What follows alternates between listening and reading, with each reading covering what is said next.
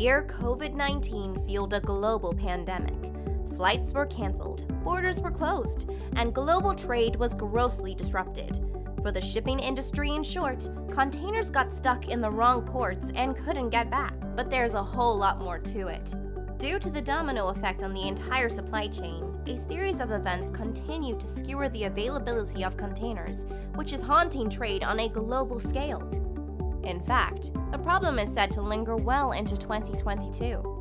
Let's take a closer look into why that is. Reduced workforce and operational vessels. As the world shut down, people were forced into their homes, factories closed, and the number of vessels heading out to sea decreased.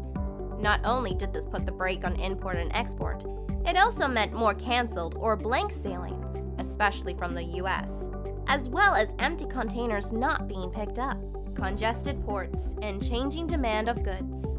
Due to the reduction in labor, ports became even more congested, causing delays in terminal operations. A huge influx of online shopping and changing needs also put pressure on the supply chain. And as borders tightened, customs became more complicated to clear as well, worsening congestion. Then, a unique scenario occurred. Asia, being the first hit by the pandemic, was also the first to recover. So while China resumed exports earlier than the rest of the world, other nations were, and still are, dealing with a reduced workforce and minimal production, which leads to a delayed recovery post pandemic. China always sends out more containers than it receives, but the demand is now exorbitant, leading to a container shortage in the largest country of exports. Europe, another major player, also faces a deficit. So, where have all the containers gone? Some are piled up in other cargo ports, and some are on vessels waiting at congested ports. To analyze the global container imbalance and see exactly where the containers are, Container xChange published a guide called the Container Availability Index. An index below 0.5 means more containers leave a port compared to the number that enter the port, and an index above 0.5 means more containers are entering the port.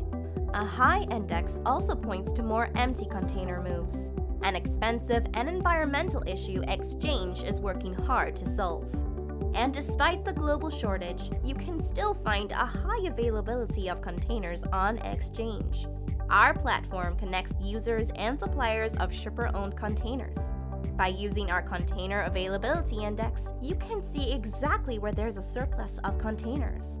As a user, you can take the opportunity to lease an excess container for a one way move back to its origin, or to a place where the containers are needed.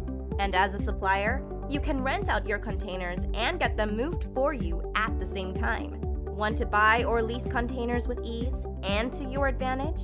Give xChange a go.